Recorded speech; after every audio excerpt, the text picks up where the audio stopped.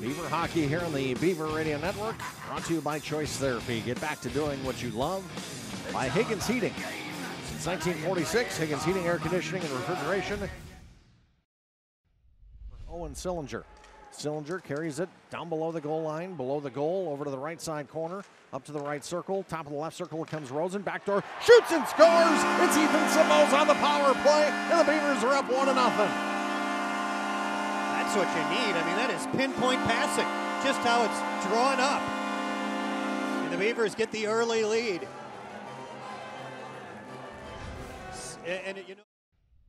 Picked up into the neutral zone by Alex Ierullo. He'll stop.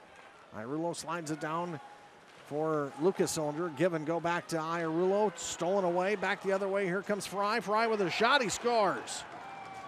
Actually, half Hampus Eriksson, I believe. Bad break for Something's the got to give. Wildcats hold blue line middle. Cosgrove shot deflects and a rebound goal for Northern. They're up two to one.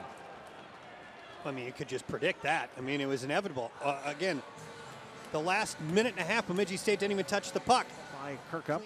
Back for Lukas Sillinger, right side circle. Blue line middle, Rosen with a drive. Knocked down out in front by Mike Van Unen. Beavers Owen Sillinger gets it to Ierullo with a one-timer. He scores! Alex Ierullo! Well, there you go, Alex. Power play goal. We're not in a two. Well, and again, perfect passing. That's what they needed. Van Unen, Hampus Eriksson, Vecchio, and Ghantous. Owen Sillinger darts around, backdoor pass, Somoza taps it in. Ethan Somoza's second of the night, and the Beavers are up three to two. Third assist of the night for Owen Sillinger, and that was all him. Adams has to wait for Carter Jones to get out. That allows Newhouse to toss to center ice to Ghantous.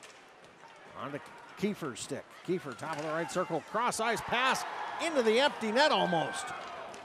AJ Vanderbeck ties it at three.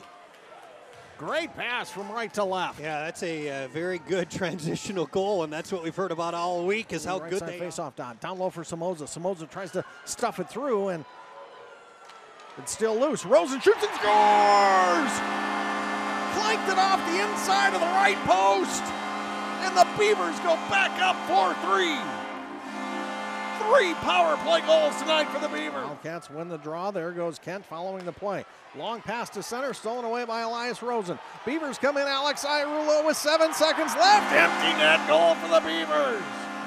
A little insurance. The Beavers up 5 3.